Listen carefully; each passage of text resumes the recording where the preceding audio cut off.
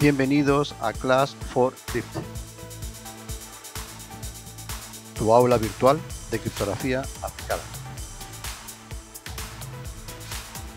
Clase número 01, presentación. Hola, ¿qué tal? Cordiales saludos. Primero que nada, muchas gracias por estar ahí. Vamos a bajar ahora un poco el volumen de la música para poder comenzar con esta clase de presentación del proyecto Class 450. Bien, agenda para hoy. Primero que nada, introducción al proyecto Class for Crypt. Seguiremos con la documentación, el software educativo de prácticas y material multimedia de apoyo a estas videoclases. Luego veremos una documentación recomendada para aquellos que deseen profundizar en temas de criptografía, un temario detallado y tentativo de las lecciones que iremos desarrollando, cómo seguir estas videoclases y por último la licencia y créditos.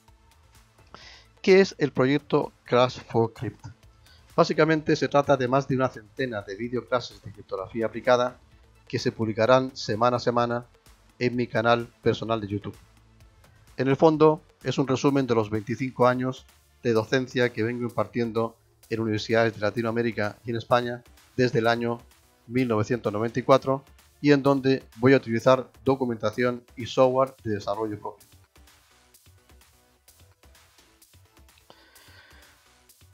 Como no puede ser de otra manera, voy a tomar como primera referencia las diapositivas de mi libro electrónico de seguridad informática y criptografía, publicado allá por el año 2006.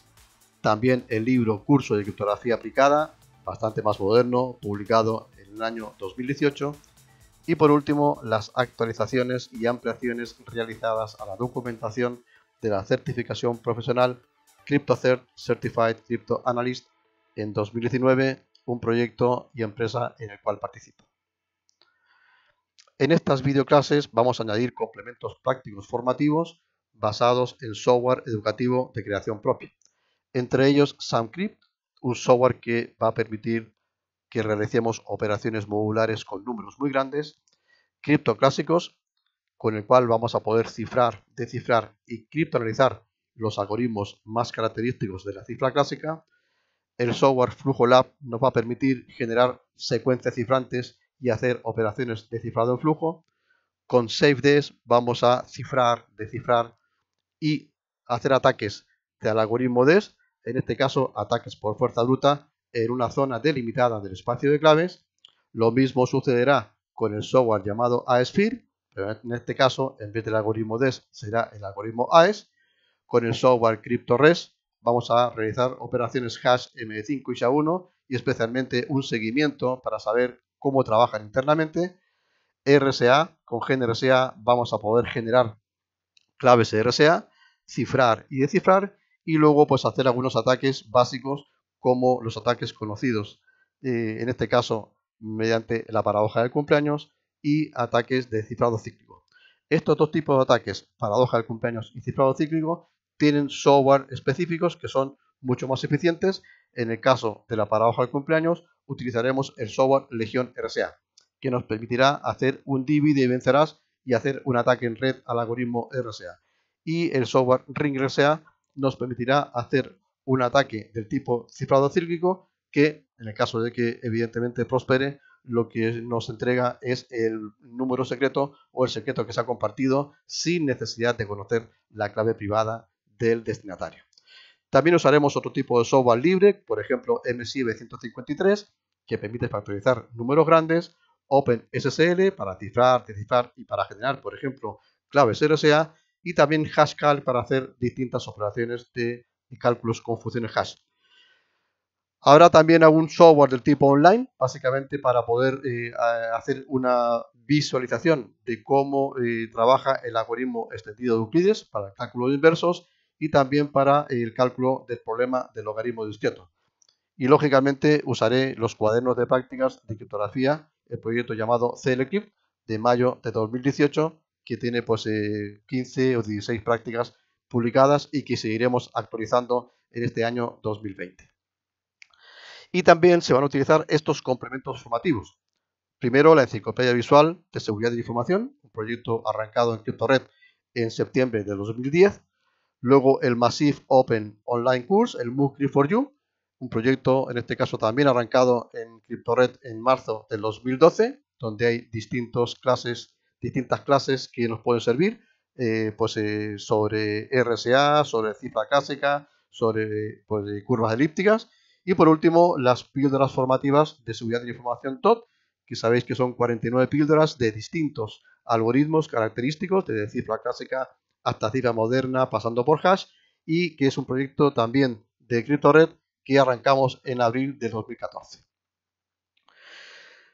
Hablando de documentación extra recomendada a quienes quieren pues, tener unos conocimientos más amplios en criptografía. Lo que se pretende con estas clases que voy a desarrollar supuestamente en un plazo de dos años, porque si son más o menos 100 clases o más eh, y una clase por semana, pues lógicamente el proyecto tiene una duración de dos años.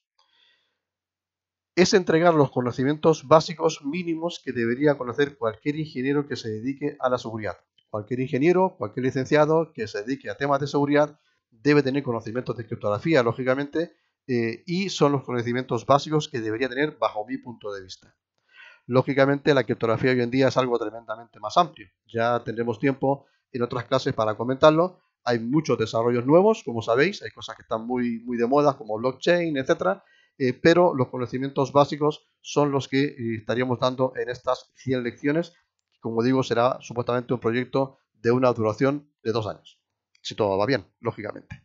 Bien, si alguien quiere profundizar más en temas de criptografía actual y más aún en la criptografía futura, pues me he dado yo la libertad de mm, buscar tres libros para recomendaros y entre ellos tengo el primero, el libro llamado Criptografía y Seguridad de los Computadores del colega y amigo Manuel Lucena de la Universidad de Jaén y su versión 5014 es de noviembre del año 2019. Otro libro, este caso ya bastante más, eh, más duro, por así decirlo, y más específico, es A Graduate Course in Applied Cryptography, de dos investigadores muy conocidos y muy famosos de la Universidad de Stanford, Dan Bone y Victor Schub, en su versión, como veis, muy muy actual, la versión 05 de enero de 2020. Y luego un libro que es de lectura bastante más cómoda, también es profundo, pero de lectura bastante más cómoda, eh, más orientada hacia la ingeniería, que es el último libro que ya no tiene un enlace en internet, ya no es gratuito, es el Serious Cryptography, A Practical Introduction to Modern Encryption de Jean-Philippe Omason, y como veis es del año 2017. Hay muchos más libros, mucha más documentación, pero yo creo que con estos tres libros más o menos podríamos decir que es lo más actual y lo más interesante. Uno en español y los demás en inglés. ¿Cuál va a ser la temática de estas videoclases? Vamos a dividir el tema de la criptografía que queremos enseñar, esta criptografía básica para todo ingeniero, en 13 apartados o 13 módulos. Estos 13 módulos los indico, a continuación. Primero, principios básicos de la seguridad. Segundo, matemáticas discretas en la criptografía. Tercero, complejidad algorítmica en la criptografía. Cuarto, teoría de la información en la criptografía. Quinto, fundamentos de criptografía. Sexto, algoritmos de criptografía clásica. Séptimo, funciones hash en la criptografía. Octavo, criptografía simétrica en bloque. Noveno, criptografía simétrica en flujo. Módulo 10, criptografía asimétrica. Módulo 11, certificados digitales. Módulo 12, protocolos criptográficos. Y por último, módulo 13, temas avanzados en criptografía. Os explico, cada uno de estos módulos lógicamente tiene distintos apartados, algunos 3, 4, otros 2 y otros, por ejemplo, como la criptografía simétrica, 18 o 20. ¿no? Eh, no se van a publicar las videoclases siguiendo un orden completamente eh, cronológico de esta presentación. Es decir, no, no haremos todos los apartados del módulo 1 para comenzar con el módulo 2. Básicamente por una relación bastante lógica. Normalmente la gente está muy interesada en algoritmos actuales o algoritmos que tienen cierto nivel de popularidad, como podría ser RSA o el algoritmo AES, por ejemplo, o pues funciones hash como SHA-3, ¿vale? O pues eh, algoritmos del tipo Ketchak. Eh, si seguimos un orden cronológico, pues entonces eh, de, a una clase por semana, pues al final sucede que el módulo número 10 de criptografía simétrica, donde veríamos Diffie-Hellman y entre ellos también RSA, pues entonces eh, lo estaríamos eh, entregando o subiendo a YouTube eh, a mitad del año que viene, con lo cual pues no tiene ningún sentido. ¿Qué quiere decir? Que se van a publicar las clases, se van a publicar en función de las necesidades, digamos, del mercado, como queráis, o de los intereses. Lo que sí se va a mantener siempre es el número del módulo. ¿De acuerdo? Es decir, todos los apartados, los 18 o 20 apartados que tenga el módulo 10 de criptografía aplicada, en el código de la clase comenzará por 10. ¿De acuerdo? Lo que sucede es que no los haremos en orden, básicamente por lo que he comentado eh, anteriormente. Estos apartados que vamos a mostrar a continuación como una pequeña introducción a lo que serían eh, los temas a tratar en cada videoclase, lógicamente pueden cambiar o ampliarse durante el tiempo, ¿no? Estamos hablando de un plazo de dos años y pueden cambiar muchas cosas, ¿no? Bien, el módulo 1, principios básicos de la seguridad, en el fondo es un módulo solo de introducción y de cultura general que se supone que cualquier ingeniero que esté trabajando en temas de seguridad y luego se quiera eh, tener una cierta profundización en criptografía debería conocer, ¿no? Eh, la relación entre la criptografía y la ciberseguridad, percepción de la inseguridad según las décadas, qué papel juega o no juega la criptografía allí, y luego temas, como veis, que son bastante relacionados con la criptografía, vulnerabilidades y amenazas de la información, hay que proteger la información y ya veremos en estas clases que la única forma de protegerla ¿vale? y de dotarle de dos apartados muy interesantes que son la confidencialidad y la integridad es utilizando herramientas y técnicas de criptografía. Haremos una diferenciación entre seguridad informática y seguridad de la información, dos términos similares pero que tienen ciertas diferencias. Eh, y por último, como ya comenté hace un momento, eh, analizaremos esta famosa triada de confidencialidad, integridad y disponibilidad, donde, como digo, pues eh, los dos primeros, la confidencialidad, es decir, el secreto, y la integridad, es decir, que el documento que se reciba o que se almacene sea íntegro y la persona que lo haga sea la persona que corresponde, el tema de autenticidad personal, pues eh, se logran mediante criptografía, ¿vale? la disponibilidad no es posible conseguirla mediante criptografía. Luego hay que entrar a la parte de matemáticas. Es quizás el coco de toda asignatura de criptografía. La gente tiene miedo del concepto de matemáticas. Y aquí voy a hacer una pequeña introducción de lo que veremos en una próxima lección, dentro de algunas semanas. Hablaremos de eh, cómo estudiar criptografía hoy en día. Desde mi punto de vista, que puedo estar equivocado, ¿no? Lógicamente, pero pues creo que hay dos formas de estudiar criptografía. Una de ellas, que es la que yo hago, eh, durante estos 25 años y que me imagino hace la gran mayoría de universidades a nivel mundial, es enseñar criptografía para ingenieros. De forma tal de que hay que enseñarles los algoritmos, saber cómo funcionan, tener un conocimiento básico de cuál es su comportamiento interno, eh, ver sus fortalezas ¿vale? y sus vulnerabilidades. Y saber cuándo aplicar un algoritmo o cuándo aplicar otro. O bien cuándo dejar de aplicar un algoritmo. ¿Vale? Eh, pero sin eh, profundizar demasiado en la parte de complejidad algorítmica, teoría de la información, teoría de código, programación segura, etcétera, etcétera. ¿Por qué digo esto? Porque los ingenieros eh, van a tener que trabajar utilizando la criptografía. Y si hacemos una profundización muy grande en matemática, lo que estamos pretendiendo es que sean ingenieros que se dediquen a diseñar algoritmos criptográficos.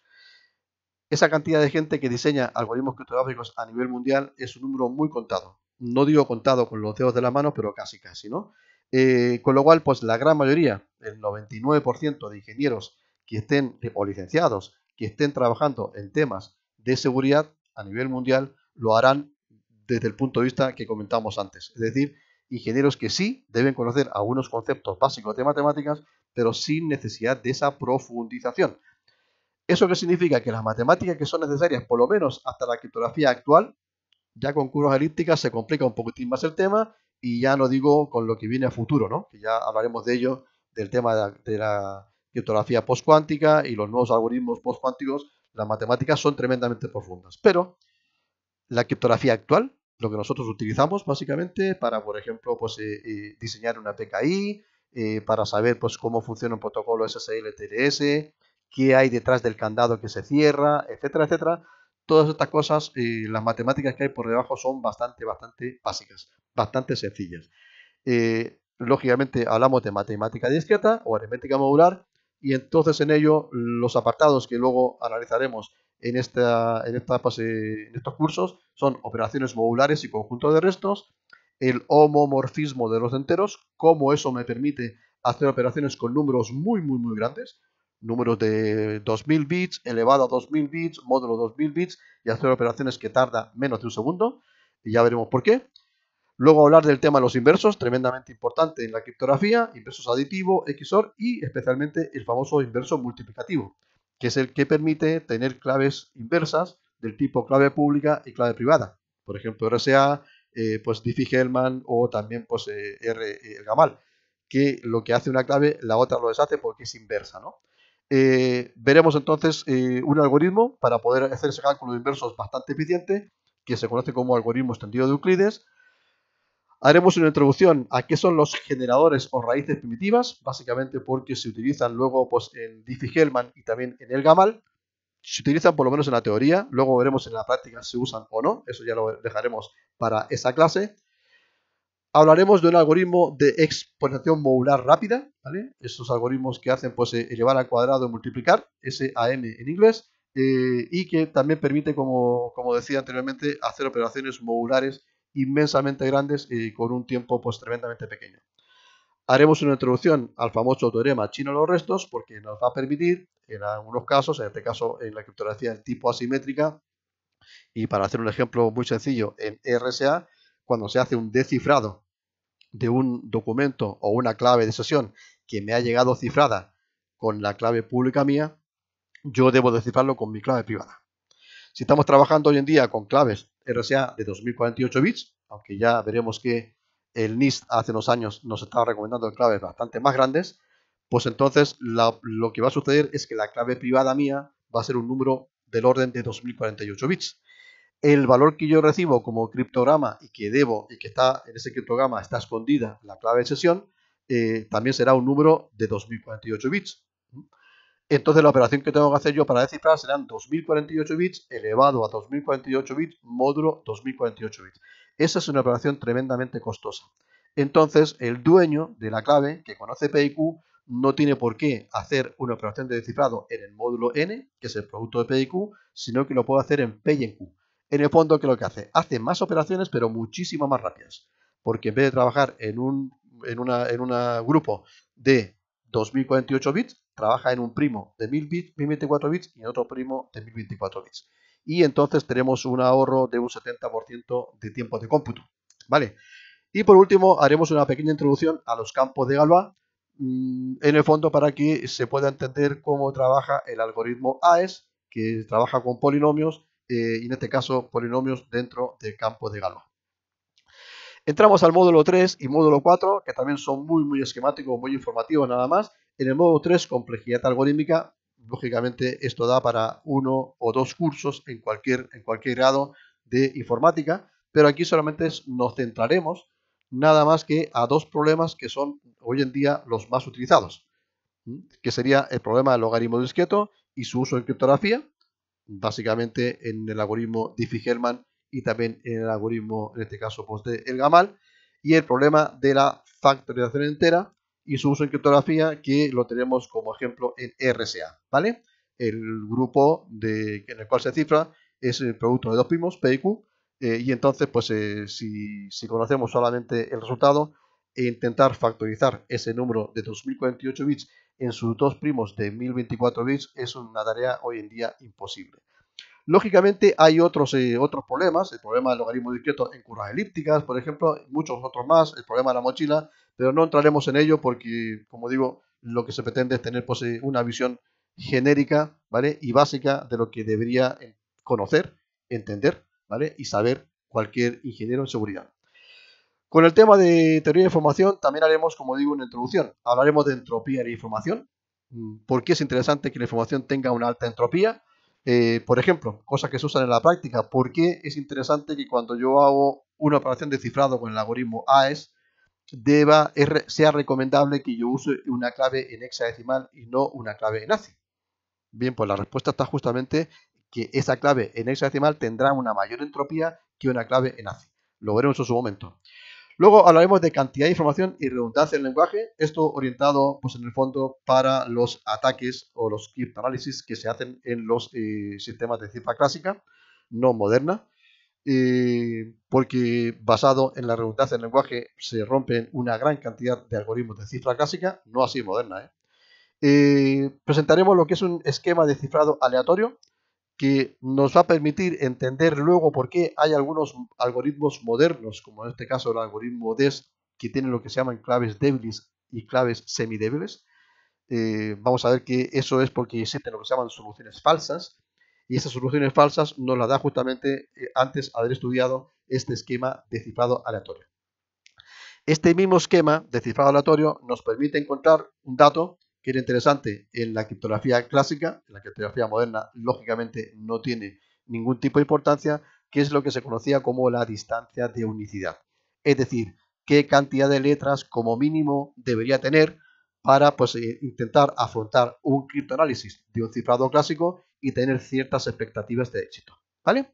Bien, con eso entonces cubrimos estos dos apartados que son la complejidad algorítmica y la teoría de información, pero, pero como digo, solamente muy por encima. Entramos al tema 5, que sería fundamentos de la criptografía. Veremos algunos principios, definiciones, los principios de Kerckhoff. Veremos cuál es el paso eh, que hubo entre la criptografía clásica y la criptografía moderna. Qué hitos que se produjeron más o menos a mitad del siglo pasado eh, nos hace definir una especie de, eje que separa la criptografía clásica de la moderna. Eh, luego, como sabéis, dentro de 15-20 años, o no sé, igual incluso menos, vendrá la, siguiente criptografía, ¿no? la criptografía postcuántica. Ya hablaremos de ello. Veremos los inicios de la criptografía. Como sabemos, pues eh, los inicios son en el siglo V a.C. Hablaremos un poco de los fundamentos de la criptografía clásica. ¿Por qué motivo? Porque esos fundamentos mm, parten en dos principios esenciales que son el principio de difusión y de confusión, que ya en su momento lo explicaremos, pero lo interesante es que esos principios de difusión y confusión se consiguen con ciertas herramientas, con ciertas técnicas. El principio de difusión, difundir las características de las letras en todo el criptograma, eh, se logra mediante las técnicas de permutación o transposición. Cambiar los caracteres de lugar. Y alguien me dirá, pues eso es criptografía clásica. Sí, pero también es criptografía moderna. El algoritmo AES también lo hace. El algoritmo AES también permuta, permuta columnas, en este caso no de letras, evidentemente, sino que de bytes. ¿Vale? Eh, y eh, con respecto al otro principio de confusión, confundir todo lo posible al atacante para que no sea capaz, a partir de un criptograma, intentar deducir cuál es la clave, pues lo que se hace es aplicar técnicas de sustitución. Sustituyo en criptografía clásica una letra por otra el típico algoritmo de César. Y en criptografía moderna también se hace exactamente lo mismo. El algoritmo DES tiene pues las cajas S, el, algoritmo AES tiene subbytes, en el fondo sustituyo un conjunto de bytes por otro, incluso en el algoritmo AES el subbytes eh, sustituye un byte por otro, que sería muy similar a lo que sucedería en la criptografía del tipo clásica. Bien, seguiremos con máquinas y mecanismos de cifras, a ver cuál ha sido la historia, la máquina Enigma, pues eh, máquinas anteriores, eh, cómo fue más o menos el desarrollo histórico de la, cifra. Haremos luego, lógicamente, una clasificación de la cifra clásica y la cifra moderna para terminar este apartado con lo que serían los fundamentos de la cifra simétrica y la cifra asimétrica. Saber cuáles son sus propiedades, cuáles son sus características, cuáles son los puntos a favor y los puntos en contra de cada tipo de cifra, de la simétrica y la asimétrica. Y llegar a entender por qué en ciertos protocolos, por ejemplo SSL, TLS, lo que se usa es criptografía híbrida. Para ciertas cosas usaré criptografía asimétrica, intercambio de clave, firma digital, y para ciertas otras cosas eh, usaré criptografía simétrica. Por ejemplo, el, trasvase de datos de una página web de un servidor a un cliente. ¿De acuerdo? Evidentemente hay razones por qué en un caso uso un tipo de cifra y en otro caso uso otro tipo de cifra, pero lo veremos en clase, lógicamente. Entramos luego al módulo número 6, algoritmos de cifra clásica o criptografía clásica, y esto es una pregunta característica que me lo hacen muchas veces los alumnos en clases, decir, eh, profe, ¿por qué si tenemos 18 o 20 horas de clase, dedicamos una hora, una hora y media, o en algunos casos hasta dos clases a criptografía del tipo clásica, cuando obviamente no se usa? Nadie hoy en día usa criptografía clásica porque se rompe fácilmente como lo veremos en clase. La respuesta es la siguiente.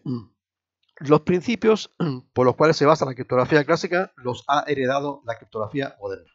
¿Vale? Lo dijimos antes, lo de sustitución, ¿vale? Lo de, permutación o transposición también. Eh, los tipos de rellenos que se utilizaban en criptografía clásica también se usan en criptografía moderna. Evidentemente, en este caso no relleno con letras, lo que relleno es a través de bits y bytes. Lógicamente también cifro bits y bytes en criptografía del tipo moderna. Eh, pero como digo, pues todos estos conceptos eh, podemos hacer una, especie de analogía entre lo que son los, sistemas de cifra polialfabéticos como Biener con los sistemas de cifra en flujo.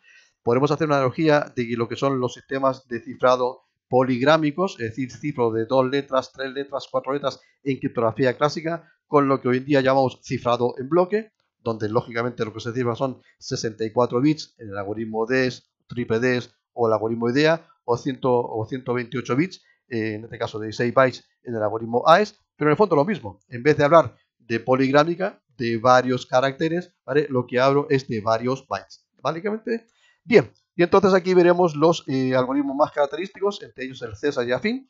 AFIN es interesante porque introducimos eh, en la cifra una operación de multiplicación.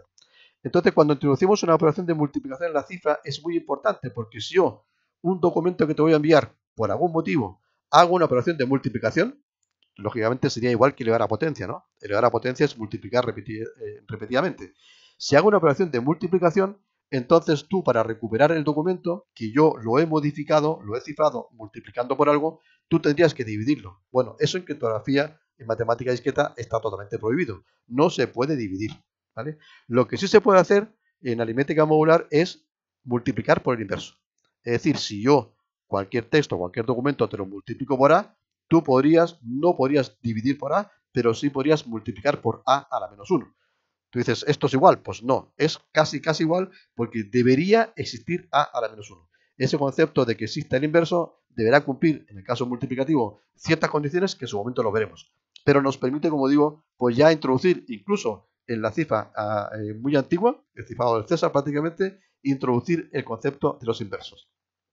Veremos luego el algoritmo de Villeneuve, un sistema de sustitución polialfabética, donde ya hay una clave, un algoritmo que tuvo una vigencia de casi 300 años, hasta que un señor llamado Kaczynski, basado en la redundancia del lenguaje, pudo romperlo fácilmente y en la práctica, cuando hagamos las clases prácticas, vais a ver que el algoritmo es bastante obvio, pero así todo, como digo, Villeneuve tuvo una, eh, una duración, una vigencia de casi 300 años.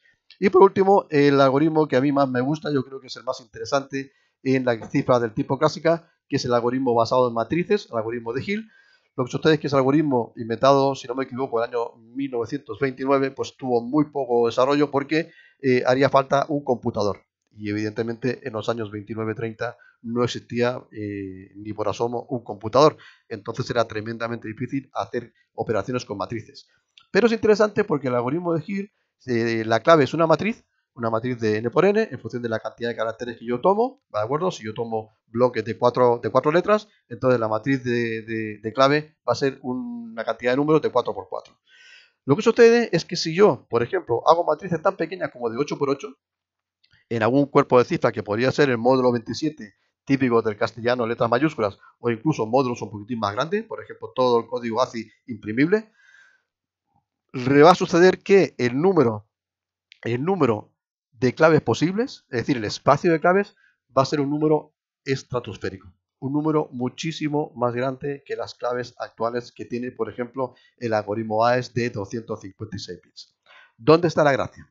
Que estos algoritmos, como son clásicos y son todos lineales, se pueden atacar o bien mediante lo que dijimos antes, haciendo un estudio de la redundancia del lenguaje, o bien mediante propiedades matemáticas. Aquí lo que se hace es se usa el método Gauss-Jordan y eh, con, un par de, matrices al final se logra una diagonal, ¿vale? Una diagonal eh, de todos unos, es decir, una matriz eh, identidad y se logra romper la clave, pero lo importante es que se logra romper la clave si yo tengo algo de texto en claro conocido.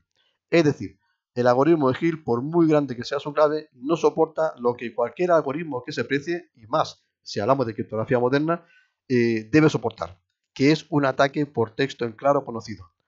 Me explico. El atacante conoce el criptograma, evidentemente, conoce el algoritmo por dentro exactamente cómo funciona, es decir, conoce su código fuente, sabe que no tiene puertas traseras, etcétera, etcétera, y también conoce el texto en claro. Pero aquí no hace falta conocer todo el texto claro. Aquí con que yo conozca una pequeña parte del texto claro al principio o al final, por ejemplo, pues entonces me es bastante fácil poder encontrar, como digo, esa diagonal de todos unos en las matrices, encontrar la matriz de identidad y automáticamente romper la clave. Por lo tanto, este algoritmo es muy seguro ante ataques en que no se conozca absolutamente nada del texto claro. Hacer un ataque por fuerza bruta es imposible, igual como sucedería el algoritmo AES hoy en día de 256 bits, pero conociendo una pequeña parte, unas pocas letras del comienzo del, texto en claro, eh, se rompe, como digo, en cosa de segundos, de milisegundos. ¿Vale? Bien, nos olvidamos entonces de las criptografías clásicas y entramos a los temas de eh, ya más modernos. Las funciones hash no son eh, básicamente algoritmos criptográficos que cifran, no cifran nada. Lo único que hacen es que comprimen la información a un cierto valor específico. Veremos cuáles son las características y la utilidad que tienen estas funciones hash en criptografía. Ya sabéis que las funciones hash también se usan muchísimo para el tema de autenticación entre cliente y servidor, ¿no? LDAP, CHAP, PAP, etcétera, distintos protocolos de autenticación, pero aquí en criptografía lo usaremos con otro, ¿vale? Con otro fin. El fin es básicamente tomar el documento o el archivo que yo quiero firmar digitalmente, pero claro, como al firmar digitalmente tendré que utilizar algoritmos de criptografía asimétrica o de clave pública, RSA por ejemplo, eh, DSA con curvas elípticas, el GAMAL, aunque no se use, eh, pues ¿qué va a suceder? Va a suceder que esos algoritmos son muy lentos, son mucho más lentos que los algoritmos simétricos como AES, TripleDS, Blowfish, Twofish, etc. ¿Vale? Entonces no puedo darme el lujo de firmar digitalmente un documento, por ejemplo, de algunas decenas o centenas de megabytes, porque puedo tardar seguramente pues, cientos de segundos en una firma digital. Es decir, estaría entrando a una página web, una página web sobre un banco, y hasta que me llegase, ¿de acuerdo? La página web tardarían muchos segundos e incluso minutos. Eh, eso, lógicamente, porque yo quiero comprobar que la página web está que corresponde, con lo cual debo deshacer una firma digital que me presenta el servidor, porque me presenta un certificado X509 firmado digitalmente por la autoridad de certificación. Y mi navegador tiene la clave pública de esa autoridad, con lo cual yo compruebo la firma. ¿Vale? Entonces, lo que se hace es que la firma no se hace sobre todo el documento, sino que se hace sobre una función hash. Hoy en día, SHA-256, con lo cual se hace la firma sobre solamente 256 bits, con lo cual es tremendamente rápido. En este caso, entonces, las funciones hash van a cumplir dos características importantes. Eh, van a permitir hacer la firma digital eh, ya no sobre un documento, sino que sobre la función hash, con lo cual me permiten eso. Y luego también, eh, lógicamente, si yo uso la clave privada mía, entonces yo me autentico que yo soy yo quien ha firmado y no otra persona. ¿Por qué? Porque tú compruebas mi firma en el extremo receptor con mi clave pública. Y hay una única clave pública que deshace mi clave privada. ¿Vale? Y voy a poder firmar digitalmente un hash mucho mejor que si tengo que firmar todo un documento entero. ¿De acuerdo? Y luego lo importante es que el hash tiene unas características que luego lo veremos eh, también en clases, que es el efecto de avalancha, que en teoría si yo cambio solamente un bit del mensaje, es decir, no cambio un punto por una coma, ni un 1000 por 10.000, cambio solamente un bit, me debería cambiar el 50% de bit del hash. Con lo cual, cualquier cosa que eh, alguien me cambie en el camino el documento o por algún error venga un bit cambiado, se va a detectar automáticamente en el hash de resolución y no va a coincidir en el 50% de los bits. Bien, es una teoría. Luego en la práctica vamos a ver que algoritmos como M5 se pueden colisionar de forma espectacular dos fotografías distintos, dos archivos distintos ejecutables, eh, dos PDF distintos, etcétera, que tienen igual hash, eso ya en su momento lo veremos, e incluso el algoritmo SHA-1, que como sabéis tuvo su primer pues, eh, mal, mal, eh, mal anuncio pues, el 23F del año 2017, pero ya hace unas semanas pues, ha tenido otro nuevo ataque y entonces más o menos los mismos tipos de ataque que estamos aplicando hoy en día al algoritmo de M5 lo está sufriendo SHA-1. Por eso que hoy en día usamos el algoritmo SHA-2, en conjunto una familia hecha por, en este caso por la NSA, eh, aunque todos deberíamos utilizar ya hoy en día SHA-3, basado en Ketchak, porque es estándar desde el año 2013, pero de momento aún nadie lo usa. Veremos cuáles son los ataques a las funciones hash, básicamente el ataque basado en la paradoja del cumpleaños, que es muy importante, porque en este caso el número de intentos que debo hacer, si el hash tiene n bits, no son 2 elevado a n, sino que es 2 elevado a n medios, donde el medio está arriba en el exponente. Con lo cual, atacar una función hash SHA-1 de 160 bits no requiero hacer de media 2 elevado a 160, o si queréis 2 elevado a 159, la mitad, ¿vale? Sino que en vez de 2 elevado a 160, debería hacer un ataque eh, con una capacidad de cómputo de 2 elevado a 80. Y eso evidentemente es muy importante, ¿no? Y por último haremos una pequeña introducción a las redes de blockchain, que como sabéis están muy de moda y no es más que un conjunto de funciones hash anidadas.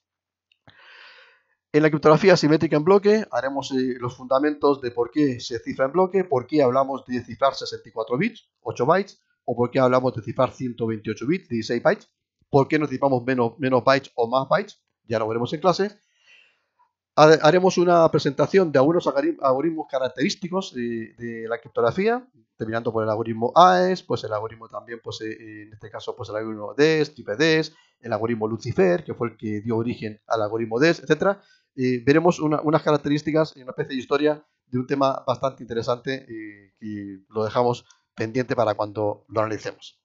Luego los modos de cifra que se usan en la criptografía, en este caso eh, eh, simétrica en bloque, el modo ECB, Electronic Book, el modo CBC, Cipher Blockchaining, encadenamiento por bloques cifrantes, el modo counter, el modo contador, CTR y el modo contador con campo de Galois que permite además eh, comprobar la autenticidad de los, bloques que yo estoy recibiendo cifrados.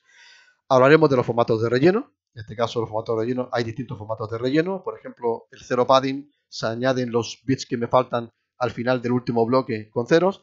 El PKCS7 es el que usa el algoritmo AES. Me voy a añadir en el último bloque que me faltan bytes, voy a añadir los bytes que me faltan indicándolo en número hexadecimal. En el caso de, de, de las funciones hash, el, el, relleno que se utiliza, porque también se hacen bloques, es un 1 seguido de ceros. En fin, hay un conjunto de rellenos distintos, lógicamente nada que ver con los rellenos que hacíamos en criptografía clásica, pero en el fondo el concepto es el mismo. Entraremos al algoritmo DES, que hoy en día ya no, se utiliza, básicamente porque es el primer algoritmo eh, que se utilizó para la cifra, la cifra, perdón, eh, en este caso civil, no del tipo militar, eh, y luego pues tuvo una vigencia de veintitantos años, ¿no? y luego, además, el algoritmo DES no se usa, pero sí se usa un formato, una variante de él, que se llama triple DES, que lo veremos dentro de un momento.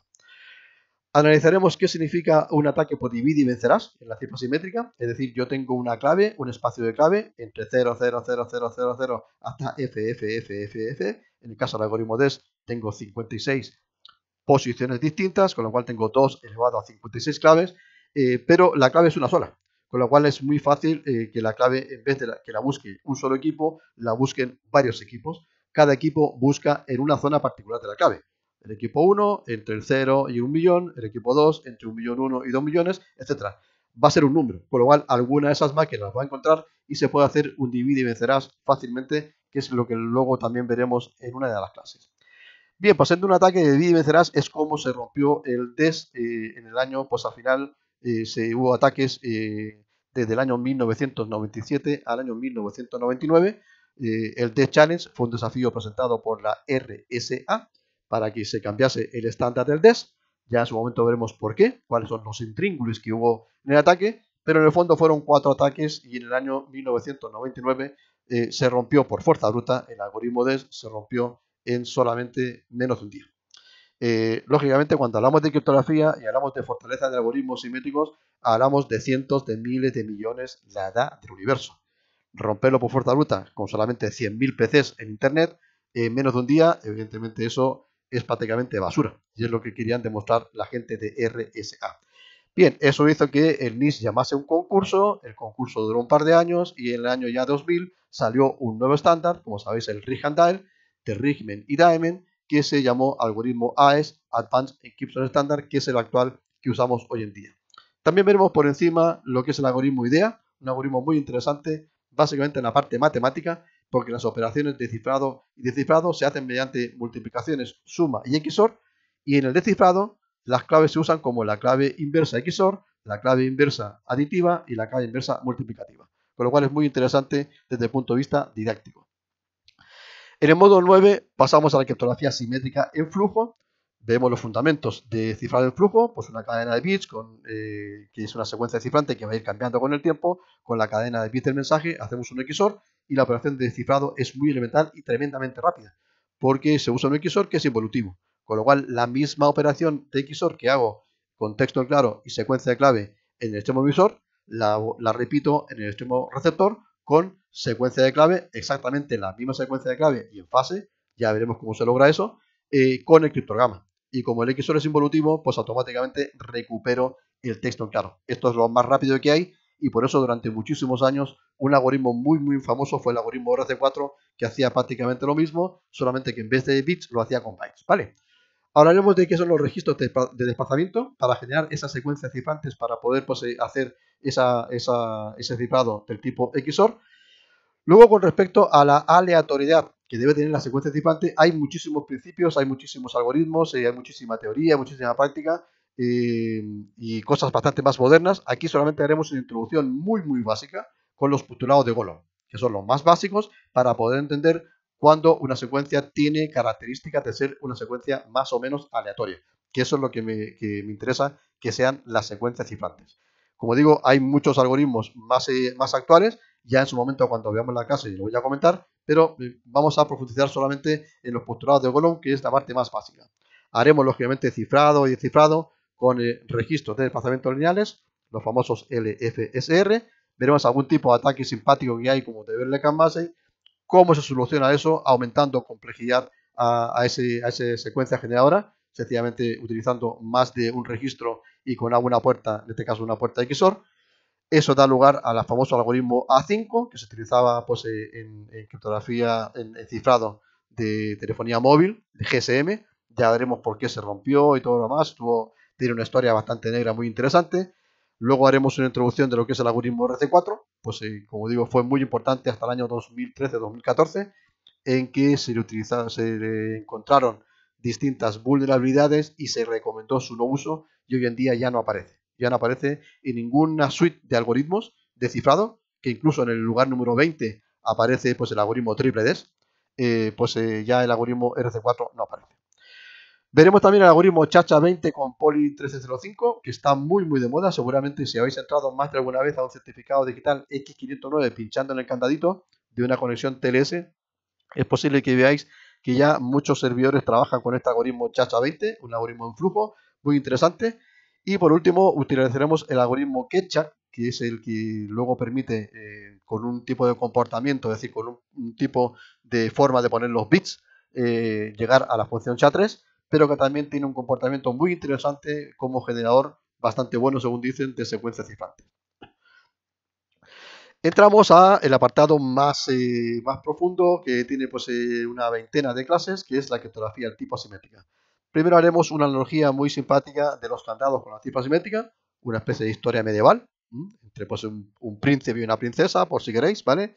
Eh, cómo se, envían pues, mensajes a través de candados vamos a ver que hay que hacer ciertos juegos especiales con el tema de los candados, ¿vale? Para que luego eso sirva en criptografía del tipo actual y quizás es posible que en, ese, en esa analogía que veremos de los candados es en la que se hayan pues, eh, eh, inspirado Diffie y Hellman para presentar en el año 1976 su famoso protocolo de intercambio de clave, ¿vale? Donde ahí comenzó todo, en la criptografía del tipo eh, de clave pública o criptografía asimétrica.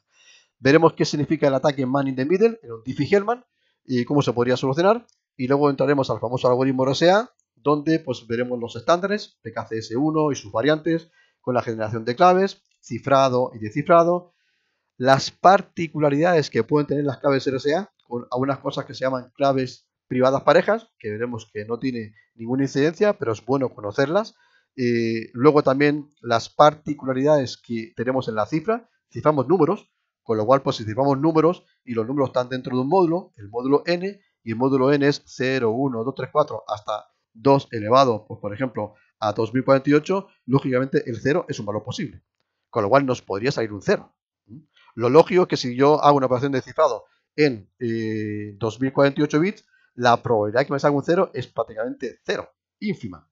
Lo más lógico es que el resultado esté dentro de 2048 bits, 2043, 2042, etcétera. Se va dividiendo por 2, ¿no? La probabilidad. Con lo cual, la probabilidad de que me llegue un número con 0, 0, 0, 0, 0 y el último, y el significativo, evidentemente es prácticamente 0. Pero bueno, es interesante hablar eh, y eh, ver qué significan esto que se llaman eh, pues los números no cifrables.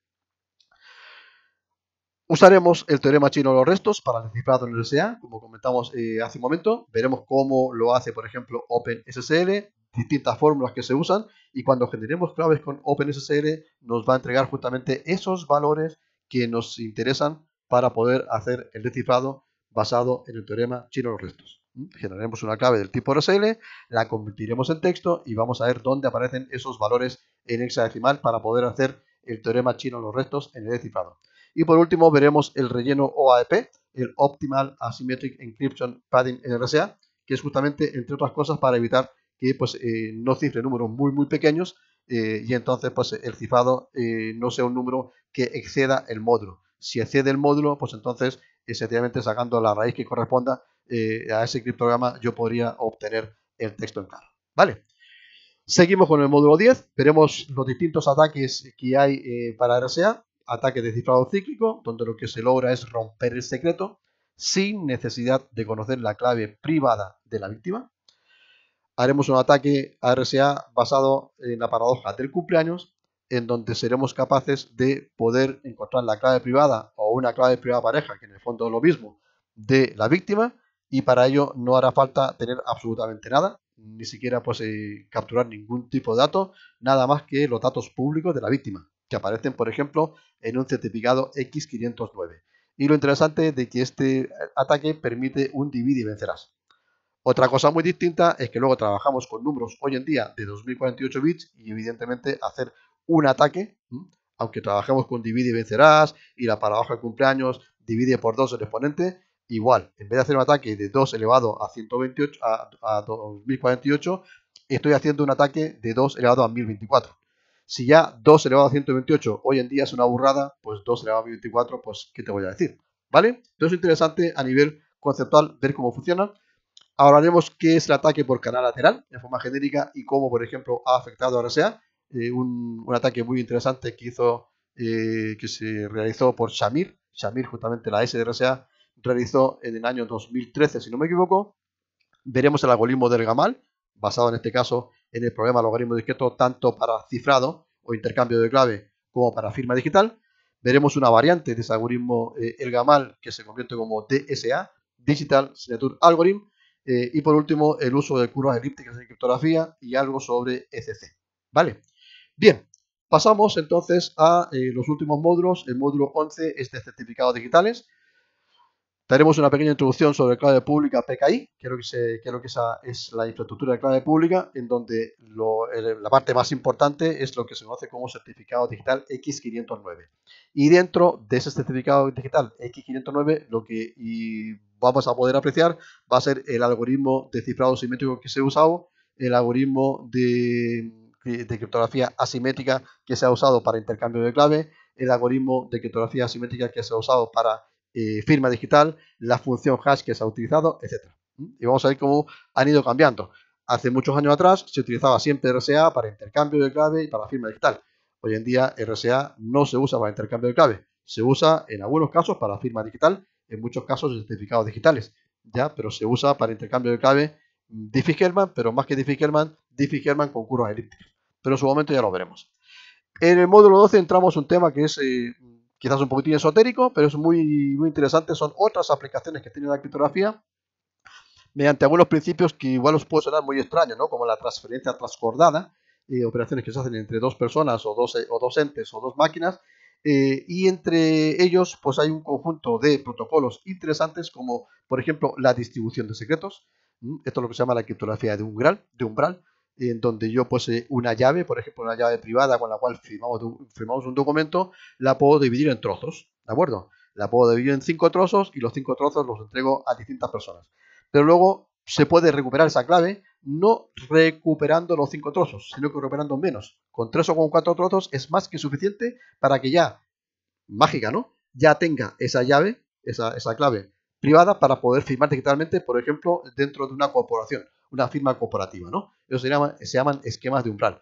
Protocolo de firma ciega, que se utilizan pues, eh, eh, en, en, lo que puede ser el esquema de voting, es decir, pues eh, tengo un documento, tengo una, un, un, sobre, introduzco mi voto en el sobre, cierro el sobre y luego lo que hago es que firmo el sobre, por ejemplo, manuscritamente, y la firma manuscrita atraviesa el sobre y se pone dentro de, de, de lo que sería pues, el, el voto. Es decir, si eh, la persona que está en la mesa recibe mi voto y, le pone he recibido el voto de tal persona sin conocer el voto que tengo porque está firmando el sobre, la firma atraviesa el sobre, por así decirlo, y eh, aparece en mi voto, ¿no?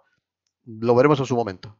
Eh, tenemos también protocolos de póker mental, como poder jugar pues, eh, una partida de póker, por ejemplo, con RSA, interesante. pruebas de conocimiento cero, la, el Zero Knowledge Proof, que son pues, unos, unas investigaciones que está realizando muchísimas universidades y ha habido un crecimiento bastante grande en esta línea, es decir, pues eh, saber que tú eres tú sencillamente por un conjunto de preguntas que te hago, pero no por un login, por un password, ni por una huella digital, eh, dactilar, perdón, ni por, eh, por fondo de iris, sino simplemente por un convencimiento propio. Es un tema muy interesante y se está investigando mucho. Y por último terminaríamos con un tema 13 que sería temas avanzados en criptografía donde veríamos por encima qué es lo que la llamada computación segura multiparte, que es el famoso cifrado homomórfico, algo también que suena también como muy misterioso, ¿no? El hecho de que yo pues tenga un, eh, tenga un, documento o tenga pues eh, eh, archivos, los archivos los cifre, se lo pase a una segunda empresa, en la nube por ejemplo, esa empresa haga operaciones sobre el archivo, medias, desviaciones, eh, estadísticas de mercado, todo lo que sea, evidentemente lo hace sobre, sobre algo que está cifrado, con lo cual no entiende absolutamente nada. Una vez que hace las operaciones, me devuelve ese documento, yo lo descifro y me salen todas las operaciones como si la persona que, eh, o la empresa que ha trabajado con ese documento hubiese trabajado con el, con el texto en claro. ¿no? Suena como muy, como muy misterioso, pero se está investigando mucho en ello.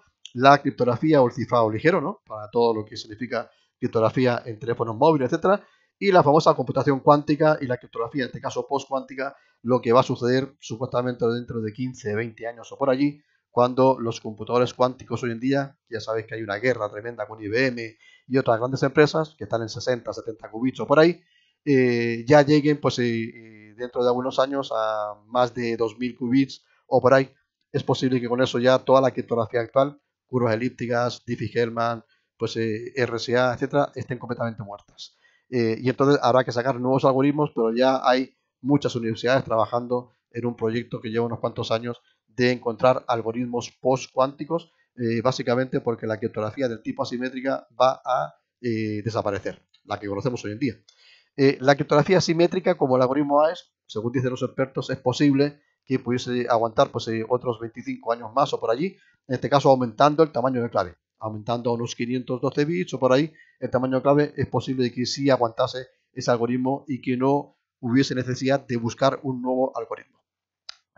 Bien, con eso terminamos la clase de presentación. Como veis, he querido hacer un pequeño resumen de todo lo que más o menos vamos a ir viendo en estos dos años, más o menos.